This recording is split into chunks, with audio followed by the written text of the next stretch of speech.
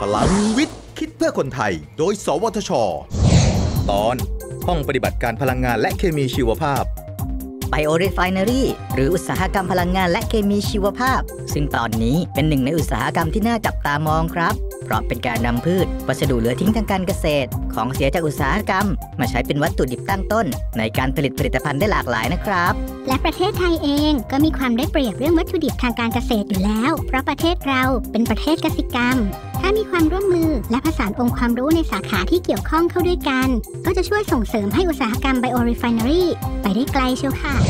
สวทช ร่วมกับมหาวิทยาลัยเทคโนโลยีพระจอมเกล้าธนบุรี จัดตั้งห้องปฏิบัติการพลังงานและเคมีชีวภาพ เพื่อพัฒนาเทคโนโลยี และกระบวนการผลิตจากชีวมวลทางการเกษตร มุ่งเน้นกระบวนการผลิตแบบไร้ของเสีย และสร้างมูลค่าเพิ่มให้กับภาคอุตสาหกรรม ซึ่งเป็นพื้นฐานสำคัญของการวิจัยและพัฒนาอุตสาหกรรม biorefineryพันธกิจหลักคือ การสร้างเครือข่ายบุคลากรที่เชี่ยวชาญ กับหน่วยงานที่เกี่ยวข้อง ในอุตสาหกรรมเชื้อเพลิงชีวภาพ ปิโตรเคมี อุตสาหกรรมการเกษตร และอุตสาหกรรมที่เป็นมิตรกับสิ่งแวดล้อม ทั้งภายในและต่างประเทศ ร่วมวิจัยและพัฒนา โดยไบโอเทค นาโนเทค สวทช และมหาวิทยาลัยเทคโนโลยีพระจอมเกล้าธนบุรี พัฒนาคนด้วยวิทยาศาสตร์ พัฒนาชาติด้วยเทคโนโลยี